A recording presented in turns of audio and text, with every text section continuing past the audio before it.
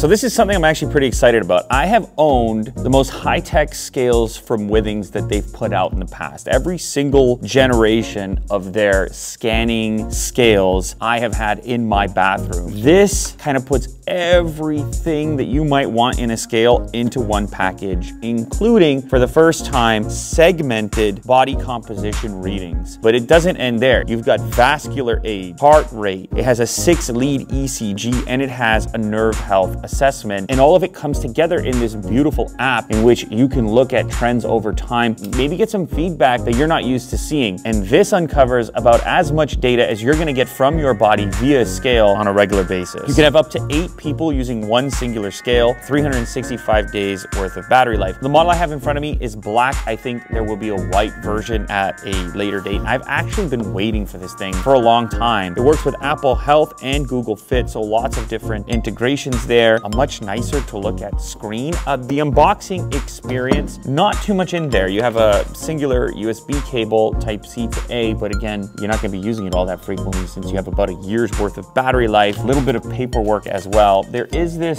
small little mount bracket with a 3M sticky. I've got their smart blood pressure monitor, as you can see over here. It all shows up in the same application. They've got thermometers, they've got the sleep tracking device, which is one of my favorites because it goes underneath your mattress. It does not require a wearable. Because it's under your mattress, it's, in my opinion, just a little bit more consistent than something that you wear so long as you happen to be sleeping on that mattress. The group of devices available via the ScanWatch brand, that's expanded as well. There's more to choose from now than there has been in the past. And then when it comes to scales, I know you're gonna be looking at the body composition scale here, the body scan, and saying, okay, pretty expensive, it's a premium product, although I would say to you, like, what is your health worth? If you see this data as being useful or possibly making lifestyle adjustments based on that information, but then they've also got others that are still gonna do a lot of smart things all the way down to $59. You can see there's a variety of different options in there. Oh my God, they've got urinalysis now too. Check it out. Effortless urine lab at home. Cool. One more body gadget for me to get. Okay, so this is what the scale looks like. Obviously, it's got this kind of subtle bar structure. It serves a purpose. It's not strictly designed. Obviously, you've got your sensors and the necessary pulse being emitted up into your body in order to give you that feedback. What's different about this one is this handle. And this is sort of resistance loaded. So like you can easily hold it, but then it also kind of wants to go back into its home. So we can utilize our handle if we don't want to bend over. The important sensors here are labeled L and R, and that's where you're going to put your thumbs. The bottom portion of your hand is going to sit on these metallic contacts here, and then your thumbs on the top in order to complete that signal, which is going to travel through your upper body, through each hand, and then be able to give you that composition feedback.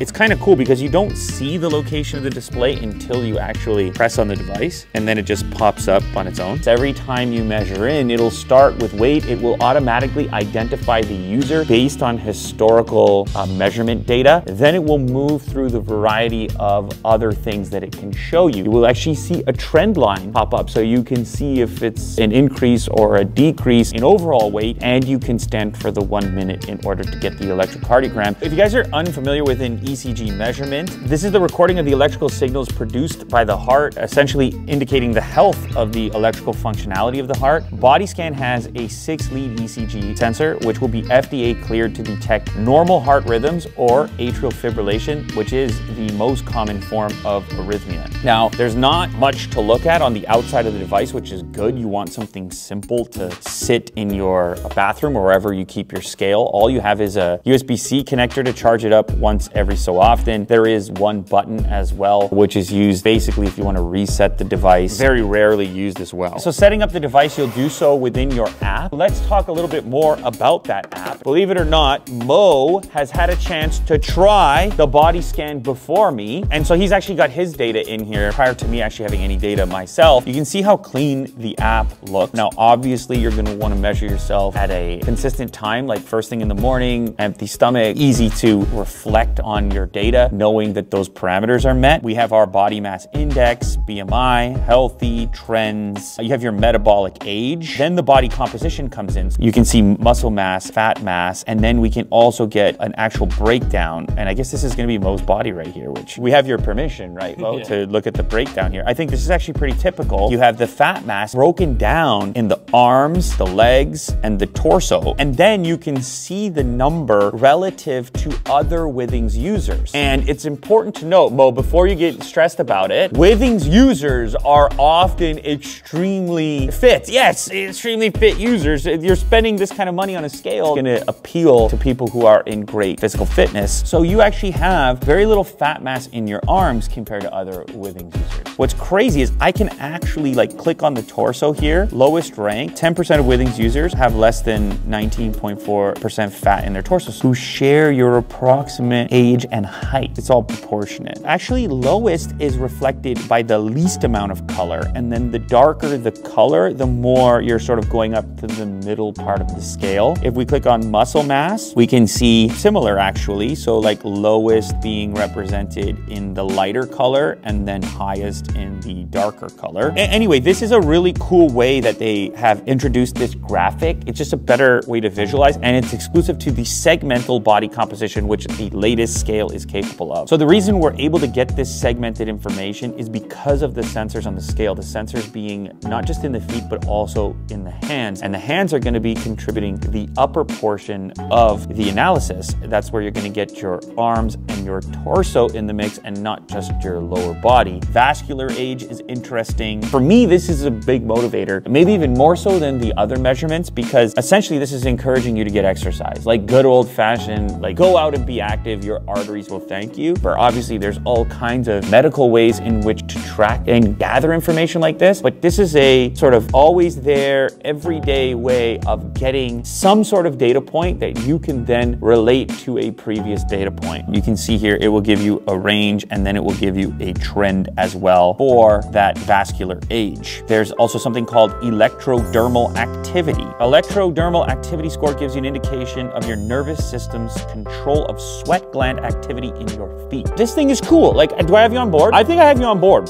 Else are you gonna run this type of analysis? Measures and assesses the activity of the sweat glands in the soles of your feet, helps manage your overall health as part of a healthy lifestyle. Sweat gland activity is measured by stimulating the nerves that control those sweat glands in your feet, and it's a marker for the effect of your emotions on your body. EDA tracks the intensity of your emotions over time. Monthly EDA can help you understand your average stress levels over time. This is extremely cool information to have as well. We're also gonna get heart rate. This is just standing heart rate. It's measured alongside those other data points. By the way, any other Withings devices that you have are also going to be contributing to this overall data within the application without the need for you to sort of bounce out and check other places, but it will just be contributing to this overall data set. Like activity, like you would have activity on here if you were wearing one of their, yeah.